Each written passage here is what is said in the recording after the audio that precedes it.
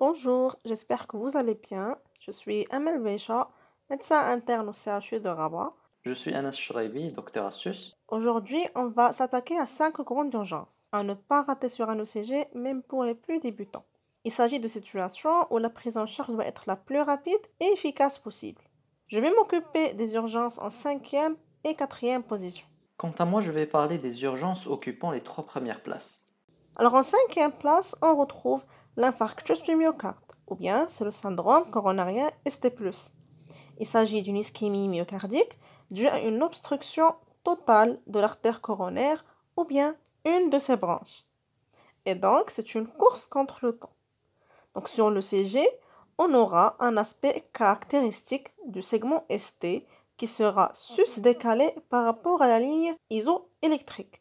Donc le point de transition entre le QRS et l'espace ST, qu'on appelle le point J, il est au-dessus de l'intervalle PR. Mais pas tous les sus-décalages sont significatifs. Ce sus-décalage doit répondre à quatre critères réunis dans le mnémotechnique iPad. Alors pour faire le lien entre sus-décalage et iPad, il faut tout simplement se rappeler que dans l'IDM, on a un sus-décalage. C'est comme la qualité et le prix des iPads qui est sus-décalé par rapport aux autres tablettes. Et donc, ça va être plus facile à mémoriser. Alors, commençons à décortiquer ce iPad-là? Donc, le I, c'est image au miroir. Ça veut dire quoi? Si on a un sus-décalage dans un territoire donné, on aura un sous-décalage dans le territoire parallèle anatomiquement. Donc, par exemple, le CG qu'on a devant nous, on a un sus-décalage au niveau des dérivations D2, D3 à VF. Et donc, c'est un infarctus de myocarde dans le territoire inférieur. Et correspondant, on aura un sous-décalage au niveau du territoire antérieur. V1, V2, V3, V4, V5. Mais ce critère n'est pas toujours constant, contrairement aux trois qui restent. Donc, le P, le P veut dire persistant. Ça veut dire que le sus-décalage persiste dans un ECG refait après 20 minutes. Parce que si le sus-décalage disparaît dans l'ECG réalisé 20 minutes plus tard, il peut s'agir d'un simple vasospasme coronaire, comme le cas de longueur de prince métal. Le sus-décalage dans ce cas-là est dû uniquement à une vasoconstriction passagère de l'artère coronaire. Donc il faut refaire un ECG après 20 minutes et si le sus-décalage est toujours là, c'est plus en faveur d'un ST+. Alors pour le A, c'est amplitude. On doit avoir une amplitude significative du sus-décalage qui diffère selon le sexe et l'âge et la dérivation. Mais en général, ça doit être supérieur à 1 mm pour dire que c'est un sus-décalage qui est significatif. Alors le D qui reste, c'est dérivation contiguë. On a dit que l'IDM est une occlusion d'une artère et donc c'est le territoire vascularisé par cette artère qui sera atteint. Et donc, une atteinte doit être systématisée. Alors, on doit avoir un sus-décalage dans au moins deux dérivations contiguës du même territoire ou bien de territoire adjacent. Ça veut dire que c'est la même artère qui a été occlueuse. Alors, si par exemple le sus-décalage est présent dans deux dérivations, mais que l'une est antérieure et l'autre est postérieure, ce n'est pas significatif. Tout simplement pourquoi le territoire antérieur est vascularisé par l'artère coronaire gauche et le territoire postérieur est vascularisé par l'artère coronaire droite. Donc ça ne colle pas qu'on aura un sus-décalage dans les deux. À noter aussi que le sus-décalage de l'IDM est un sus-décalage qui est convexe vers le haut, un sus-décalage qui est concave vers le haut, qui est diffus, qui n'est pas systématisé, c'est plutôt une péricardite. Le sus-décalage de l'IDM, il est convexe. Après les dernières recommandations, on inclut également l'apparition d'un bloc de branche gauche récent comme équivalent de l'ECA ST+. Le bloc de branche, se manifestera comment? Comme on peut le voir, ce sera un QRS qui est large et avec un aspect de RR' en V5 et V6. Sinon, pour le traitement, le principe sera de perméabiliser l'artère occluseuse avant que la nécrose s'installe. Après, en quatrième place, on retrouve la tamponnade, qui correspond à un épanchement péricardique tellement important qu'il est responsable d'une adiastolie aiguë. Donc le cœur ne peut plus se distendre pour recevoir un retour veineux. C'est une grande urgence également vu le risque imminent d'arrêt cardiovasculaire. Donc sur l'ECG, Vu l'interposition du liquide entre le cœur et les électrodes, on aura un microvoltage des feux, donc des complexes QRS d'amplitude ne dépassant pas les 5 mm dans les dérivations frontales et 10 mm dans les dérivations précordiales. On pourrait avoir également un aspect d'alternance électrique sous forme de QRS d'aspect différent d'une systole à une autre. Et cela est dû au phénomène du swinging heart qu'on peut voir sur l'échographie, car le cœur baigne dans le liquide et change de position d'un battement à un autre.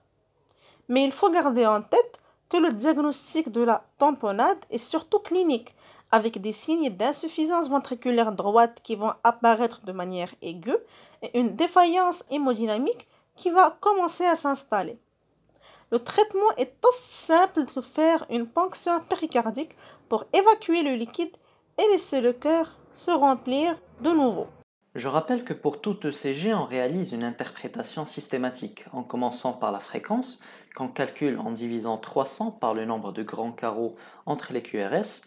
Donc ici, ça nous fait 300 divisé par 4, donc 75 battements par minute. La fréquence est bonne. Pour le rythme, on voit si l'intervalle entre les QRS est constant, et ici, oui, il est constant, c'est toujours 4 grands carreaux, et on note la présence de l'onde P avant chaque QRS, donc le rythme est sinusal, c'est-à-dire qu'il provient du sinus atrial, sinon il n'y aurait pas d'onde P.